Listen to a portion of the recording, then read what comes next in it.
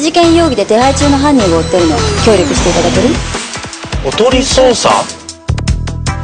爆笑エンタメバトルはうちの看板番組だからね。詐欺がどうかしましたか？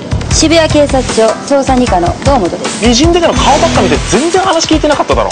詐欺師の詐欺沼さんですか？おい。もう一歩のところまで来てんだよ俺たち。お前小学校から高校までいじめられてきたヘタレだろうがよ。ヘタレって言うな！あなたたちの夢はいつか叶う。